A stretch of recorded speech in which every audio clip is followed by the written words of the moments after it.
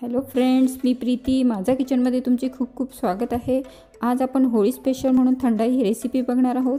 थंडाई मसाला हा खूप पौष्टिक असतो खास करून लहान मुलांसाठी. होळी पौर्णिमा रंगपंचमी आली की ही रेसिपी नॉर्थमध्ये बनवली जाते. आज आपण बनवूया. व्हिडिओ आवडल्यास लाईक करा माझ्या चॅनलला सबस्क्राईब नक्की करा व बेल आयकॉनवर प्रेस करायला विसरू नका. म्हणजे माझ्या नवीन रेसिपीचे नोटिफिकेशन पहिले तुमच्या मोबाईलवर चला तर मग वेळ न घालवता थंडाई कशी बनवतात ते बघूया. थंडाईसाठी इथे मी एक लिटर फुल फॅट क्रीम दूध गाळून घेतलेलं आहे. याला मी पहिलेच गरम करायला ठेवलेलं होतं. एक उकळी आलेली आहे तुम्ही बघू शकता. थंडाई ही दूध गरम करून थंड केलेलं किंवा फ्रीजमधल्या थंड दुधाची पण करू शकता. परंतु दूध उकळून थंड करून घेतलेलं कधीही चांगलं. इथे गाईचे म्हशीचे कुठलेही दूध घेऊ शकता. मी म्हशीचं दूध घेतलेलं आहे. यात टाकायला मी पन्नास ग्रॅम खडीसाखर घेतलेली आहे. खडीसाखर ही थंड असते म्हणून इथे मी साखर न घेता खडीसाखर घेतलेली आहे. तुम्ही तुमच्या आवडीनुसार प्रमाण कमी जास्त करू शकता. खडीसाखर दुधात टाकून खडीसाखर वितळेपर्यंत त्याला लो फ्लेमवर दूध गॅसवर राहू देऊ. तोपर्यंत थंडाई मसाला बनवून घेऊ. तुम्ही खडीसाखर नसेल तर तुम्ही साखर पण घेऊ शकता.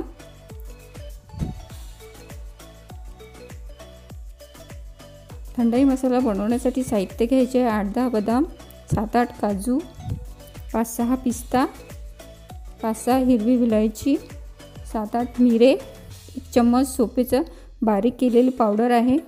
तुम्ही अख्खी सोप एक चम्मच घेतली तरी चालेल. हे आता मिक्सरच्या भांड्यात टाकू. बदाम काजू पिस्ता विलायची मिरे सोप पावडर याला खूप बारीक पावडर न करता थोडं जाडसरच ठेवायचं आहे. आता याला वाटून घेऊया. हा बघा थंडाई मसाला तयार झालेला आहे. यात एक चम्मच खसखस मसाला मिक्सरमधून वाटताना टाकलेला आहे. ते राहिलेलं होतं. पावडरला पॅक बंद डब्यात दोन तीन महिने फ्रीजमध्ये स्टोअर करू शकता. याला आता दुधात टाकूया. खडीसाखर दुधात वितळलेली आहे. यात टाकू थंडाई मसाला दोन चमचे. याला दोन मिनिट दुधात शिजू द्यायचं आहे. नंतर याला थंड होऊ देऊ. आता आपण गॅस बंद करून देऊया.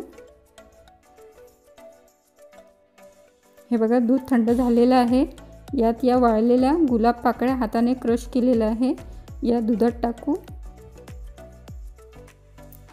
हे आपल्याला मिक्सरच्या भांड्यात टाकून फिरवून घ्यायचं आहे.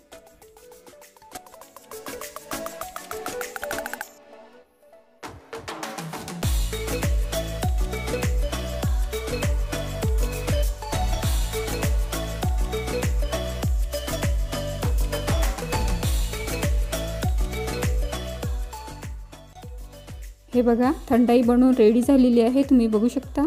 खूप मस्त दिसत आहे. थंडाई मसाल्याने थंडाई खूप टेस्टी लागते.